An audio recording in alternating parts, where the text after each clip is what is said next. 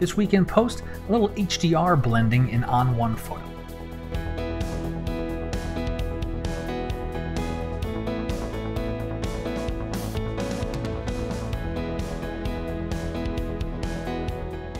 Hey everyone, I'm Scott Davenport. Welcome to In Post. Thanks for joining me today.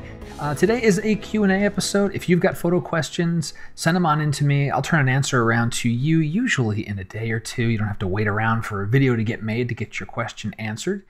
And then uh, you might see your question on a future video. Uh, it really does help feed the idea machine behind uh, each week in and out. So uh, today's question is about HDR captures and blending them in ON1 Photo. I actually have gotten this question a few times in the last several months, uh, most recently from Nikki, and it was time for me to sit down and attempt to do this type of blending. So the thing about it is, you know, ON1 Photo is not HDR software. It's not going to take multiple exposures, you know, your, your negative EV, your nominal, uh, positive EV. It's not going to do tone mapping or things like that. That's not what the software does.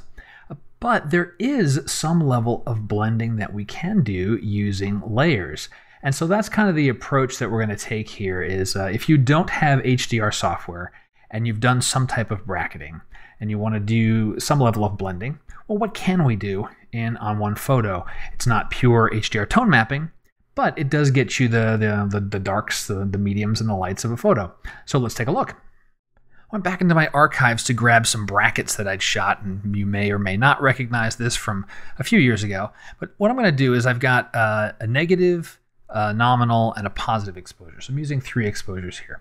Now, if you're bracketing with five or seven or nine, uh, I don't know how well what I'll show you will translate. Um, and also, I'm not sure if you need that many brackets. I mean, even with uh, this was done with a, a camera that was a Nikon D7100, so you know, a 2013-ish camera. And the three brackets would usually get me what I needed. But what we're going to do is we're going to select all three of these, and we're going to bring them into layers. And so I'll just go to File, and then edit in ON1 layers. And the main thing I want to do is make sure I choose add as a layer. That will take all three images and put them into a single document. All right, so I've got the photos loaded in here. And so what do we have? We've got our nominal on the top. Let's call that nominal. I'll turn it off for a second. This is the overexposed one. Turn that one off. And this is the underexposed. Okay, so there's our three brackets. And uh, the way that I'm going to arrange these is I'm going to take the nominal and put it on the very bottom. And uh, my rationale for that uh, is, well, partially because of how I'm going to blend these things together, and partially I like to start with, you know, what's my baseline kind of at the bottom of my layer stack. It's just a personal workflow thing. So how are we going to blend these things together? I'm going to start with the underexposed next. Now with the underexposed layer, what we have is a whole bunch of, of dark stuff. What we're interested in is bringing in the highlights, right? That's what we underexpose so that we don't blow highlights when we're doing a bracket. So to get those highlights, the, the simplest thing to do is to create a luminosity mask. And so we'll do layer, uh, sorry, mask, create luminosity mask. Okay, and now you can see that that's, you know, that's bringing some of the details back from the trees. There's some of the sky there, you know, so if I turn that off, this is our nominal layer here and I'm losing detail around those those trees and the, you know, the palm fronds.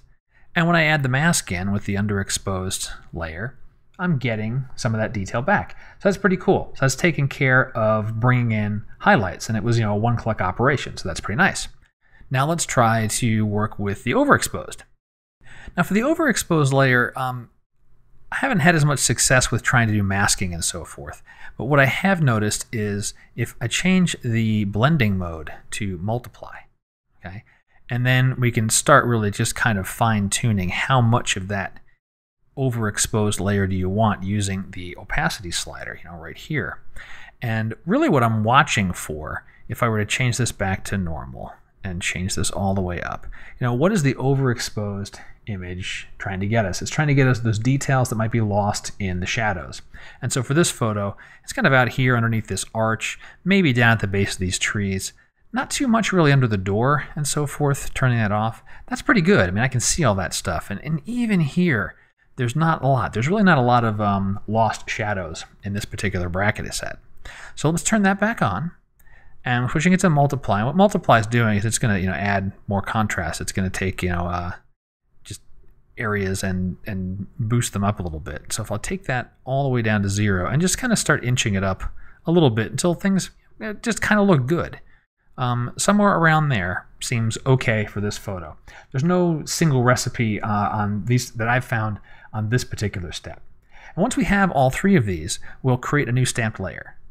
So we'll do layer, new stamped layer, and that takes all three of these guys, puts it into a single layer, and let's call it um, blended, so that if I turn off all the other layers, you know, this is what I have, right? Nothing at all. There's our blended options, right? And uh, let's turn everything back on.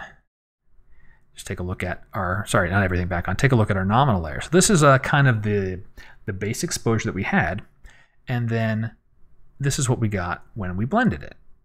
So it's better, right? Before and after. And you really notice it up in the highlights area and a little bit, you know, out uh, in, in the, uh, the, the textures around in this, uh, this you know, doorway, this archway.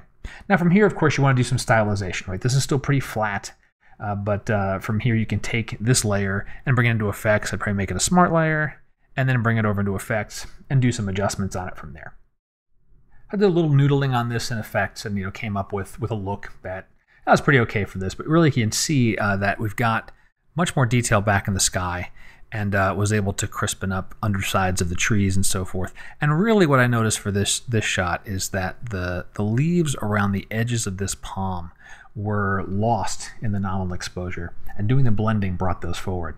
So the tip of the week is if you are going to try to do some type of blending of HDR brackets in ON1 Photo. You want to work in layers. And the, the first step for that, uh, you know, you can do it. I say the tip is you can do it. Uh, it's not tone mapping. It's more blending, and it's kind of more akin to uh, using luminosity masks or other selective masks if you're in Photoshop, if you've done it there. Uh, but it's it's doable. Um, it's probably not going to give you the same result as tone mapped uh, things that are you know specifically HDR algorithms. But coming from the approach of this is the tool that you want to use, or you don't own HDR software, but occasionally you want to do some brackets, you've got some options with On1 Photo. That'll do it for this week's In Post. I hope you've enjoyed it. And if you did, let me know somehow. You can leave a comment on the video below, contact me through my website. Again, if you got questions, send them on in. Love to hear from you, what's on your mind photographically. And until next time, my name's Scott Davenport. Happy shooting.